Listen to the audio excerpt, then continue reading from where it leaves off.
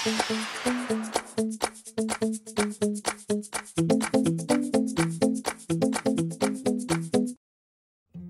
teman-teman, kembali lagi bersama dengan saya Joel Christian. Jadi pada video kali ini kita akan membahas mengenai IES Light.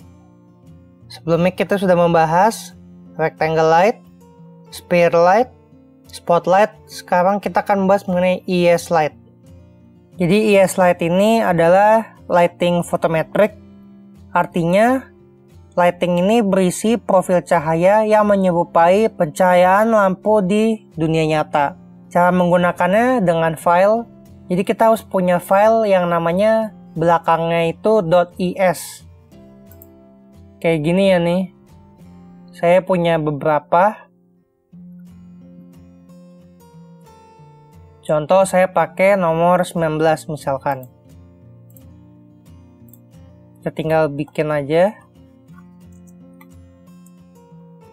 Kita lihat ke parameternya.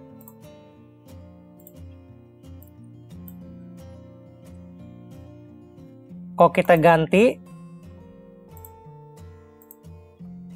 maka kan berubah bentuk cahayanya nah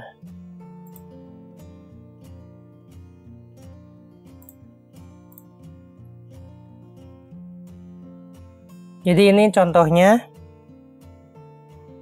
yang tadi saya bilang itu jadi ini dia Nomor-nomor ini merupakan contoh hasil cahaya yang dihasilkan. Kalau IS nomor 9 hasilnya seperti ini, kalau 19 yang kayak tadi saya pakai hasilnya seperti ini. Ini yang disebut IS ya. Jadi dia bisa menduplikasi bentukan shape cahaya pada benda aslinya. Kita kembali, kita ke parameter. Color itu menentukan warnanya.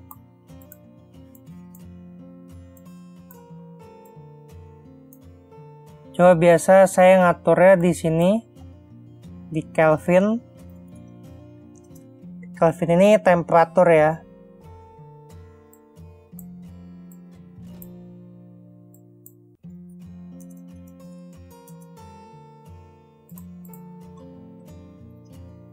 lalu ada intensity kalau diaktifkan, maka dia cahayanya itu ngikutin angka yang udah ada nih.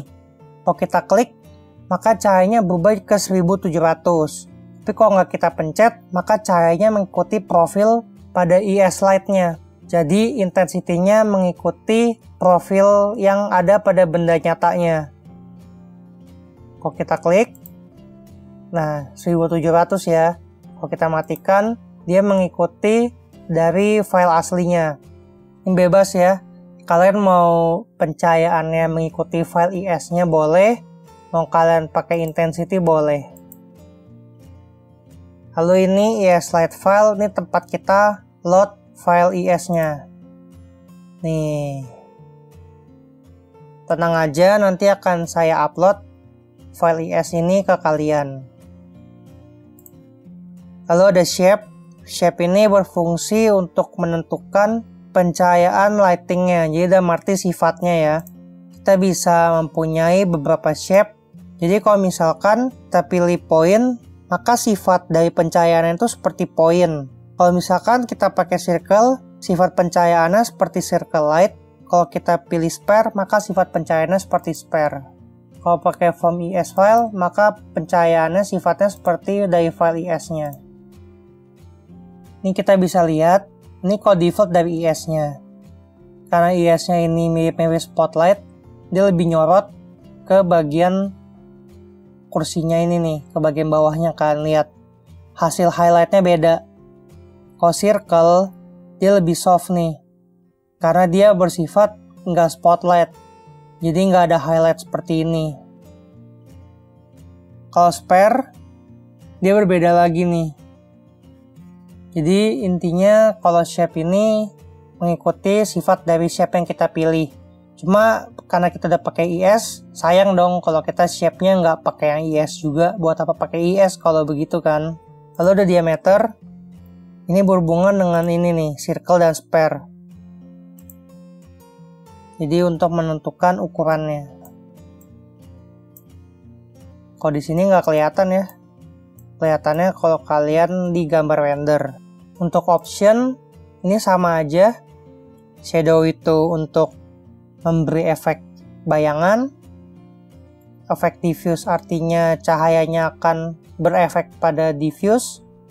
Kalau efek spekular maka cahayanya akan berefek pada spekular material lalu caustic subdiv mengenai tingkat ketajaman pada light pattern, jadi semakin ke kanan akan semakin halus hasil light patternnya, semakin ke kiri akan semakin noise. Pembahasannya sudah ada di video-video sebelumnya, seperti di rectangle light dan di sphere light.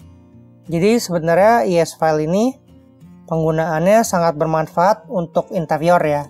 Jadi karena interior itu kan dia butuh hasil pencahayaan yang lebih detail ketimbang kita membuat bangunan eksterior. Dalam arti, hasil pencahayaan di rendering kita itu harus semaksimal mungkin bisa mirip bisa mirip dengan hasil pencahayaan di kenyataannya. Kita membuat ini kan untuk proyek real. Kita perlu menyesuaikan dengan lampu yang digunakan dong. Ini fungsi dari ES Light.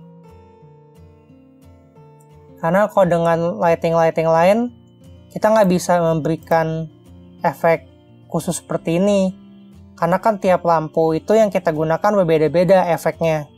Bisa aja kita butuh efek khusus, maka pakai ES Light.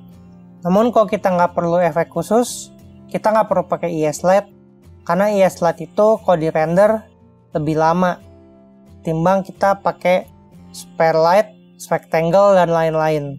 Itu rendernya lebih cepat. Oke, sampai di sini dulu pembahasan saya tentang ES Lite.